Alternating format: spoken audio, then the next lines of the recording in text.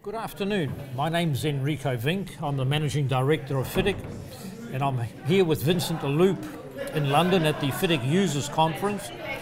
And we've been reflecting on a lot of the changes to the FIDIC Rainbow suite of contracts.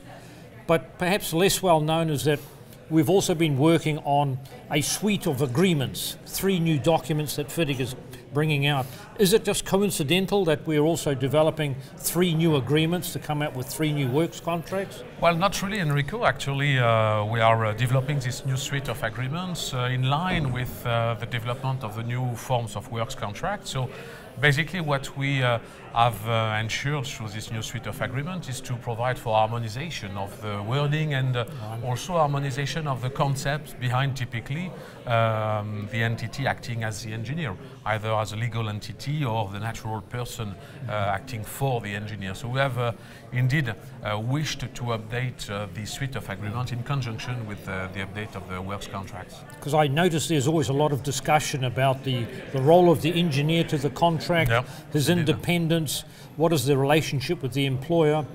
And of course, through these documents, these agreements, we can actually specify in more detail that relationship.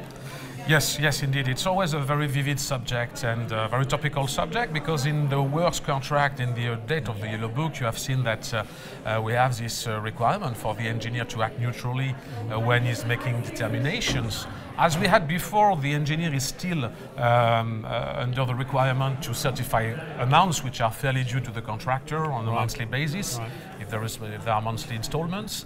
And um, there is also this requirement to make fair determination. So we have just reflected that matter uh, also in a specific uh, subclause of the White Book, which is now called uh, uh Construction Administration, right. subclause 3.9, and where the engineer is act uh, whenever he is exercising discretion in the the, works contract or whenever it's certifying or making a determination, is required to act fairly, uh, as in between the, the employer and the contractor. Um, and also exercising his independent professional judgment. Right. So we made sure somehow that right. uh, what we ask for the engineer to do uh, in a white book, typically in a, a client-consultant relationship, uh, reflects what uh, the engineer is asked to do uh, under the red book, yellow book uh, contract. But with the, the sub-consultancy agreement, perhaps something less known to the market, FIDIC yeah. took some time to develop a sub-contract to match the red book. And now we have a sub-consultancy agreement. Is that designed to perform a similar function back to back with the main contract? Yes, definitely. Uh, that's why it goes it goes out together, and we have also the JV agreement going together. So typically, the sub-consultancy agreement will be there for those uh, acting as engineer uh, under a works contract, for instance, having their engineer services being contracted with the client using a white mm. book. Uh, but being willing to subcontract some parts of their services. It might well be that you are talking about a large water treatment plant, for instance, where you have the engineer delivering most of the services, but he might be willing to subcontract some specific services such as automation or electromechanical uh, design. He can do so using the subconsultancy agreement. There are back-to-back -back, uh, provisions with the white book.